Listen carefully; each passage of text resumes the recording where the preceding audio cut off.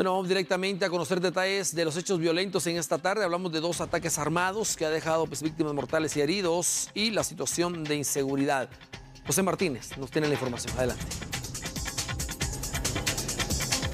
Gracias, muy buenas tardes, amigo televidente. Gracias por estar en sintonía de esta emisión de TN 23. Les saludamos desde la Estación Central de Bomberos Voluntarios con un resumen en cuanto a incidentes armados en lo que va de la tarde. Uno de ellos es un hecho delincuencial. Eh, tenemos la imagen en pantalla se registró en el kilómetro 20 de la ruta interamericana. Desafortunadamente hablamos de una persona fallecida. Para hablar de los dos casos me acompaña esta tarde el oficial Byron Morales de los bomberos voluntarios. Oficial, muy buenas tardes, bienvenido a TN23. Primero hablemos del caso de la interamericana, oficial, adelante. Así es, licenciado, justamente una venta de vehículos ubicada en el kilómetro 20 de la ruta que conduce hacia la ciudad en la ruta interamericana. Se valoran signos vitales de un hombre de 38 años de edad. Lamentablemente esta persona ya se, ya se encontraba fallecida ya que las heridas fueron órganos vitales. Personas llegan al lugar y lo han identificado como Irving Ramírez Ortiz de 38 años de edad. Oficial, tenemos imágenes también de una persona que fue trasladada desde el sector de las Minervas, pero pues eh, en este caso pues, no fue un hecho delincuencial, fue un hecho aislado. ¿Qué se sabe de este caso?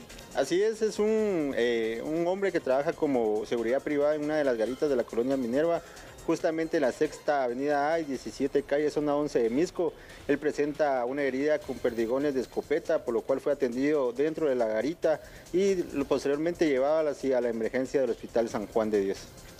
Muchísimas gracias por el detalle de la información. Aquí está entonces la imagen de este segundo caso, la persona que fue trasladada y que ya está siendo atendida en este centro asistencial, el Hospital General San Juan de Dios. Se tiene información de que él junto con su compañero de labores son guardias de seguridad privada, pero por algún error que pudo deberse a una mala manipulación del arma de fuego, se accionó la escopeta y resulta uno de los policías. Así que es parte de lo que ha ocurrido en esta tarde. Por supuesto, le tenemos el resumen a detalle aquí en TN 23. Compañeros, muy buenas tardes.